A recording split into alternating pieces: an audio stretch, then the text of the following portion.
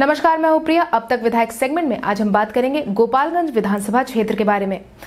आज सबसे पहले बात करेंगे 2015 में हुए बिहार विधानसभा चुनाव की। गोपालगंज विधानसभा सीट पर मौजूदा समय में सुभाष सिंह विधायक है। सुभाष सिंह भाजपा के टिकट से इस सीट पर जीत दर्ज कर कर आए थे। उन्होंने अठहत्तर हज़ार चार सौ इक्यानवे वोट हासिल किए थे।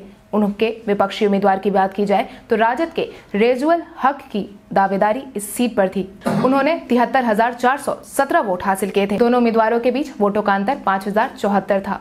इतने कम वोटों के अंतर से ही स्पष्ट होता है कि दोनों उम्मीदवार के बीच कड़ा मुकाबला रहा था। बिहार विधानसभा चुनाव 2010 और अक्टूबर 2005 को देखा जाए तो इस चुनावी वर्ष में भी भाजपा के सुभाष सिंह ने अपनी विपक्षी राजद के रेजुअल हक को शिकस्त देकर विधायक निर्वाचित हुए थे। वहीं वर्ष 2005 के फरवरी माह के चुनाव के नतीजे को देखा जाए तो रेजुअल हक बीएसपी के टिकट से लोजपा उम्मीदवार सुभाष सिंह को शिकस्त दी थी।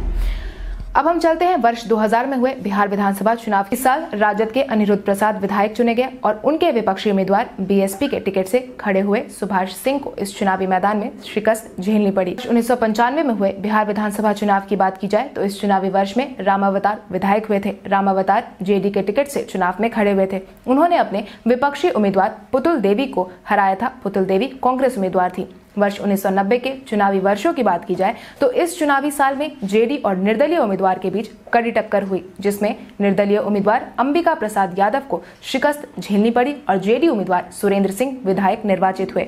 इसके पिछले हुए चुनाव वर्ष उन्नीस सौ पचासी में। बिहार विधानसभा चुनाव में गोपालगंज सीट के चुनावी परिणाम को देखें तो निर्दलीय उम्मीदवार सुरेंद्र सिंह गोपालगंज सीट से विधायक निर्वाचित हुए। इस चुनावी जंग में उन्होंने एलडी पार्टी के उम्मीदवार अंबिका प्रसाद यादव को परास्त किया था। क्षेत्र के विकास के मुद्दों को देखा जाए तो सरकार ने इस विधानसभा क्षेत्र के विकास के लिए कई महत्वपूर्ण कदम उठाए, जिससे लोगों को काफ़ी राहत मिली है। वहीं अब भी स्थायी निवासियों के सरल ज़िंदगी के लिए कई सुधार कार्यक्रम किए जाने हैं। स्कूलों में भवन निर्माण के लिए राशि दी गई है। सड़क और पुल का निर्माण कराया गया है। अस्पतालों में सुधार कार्य किए गए हैं।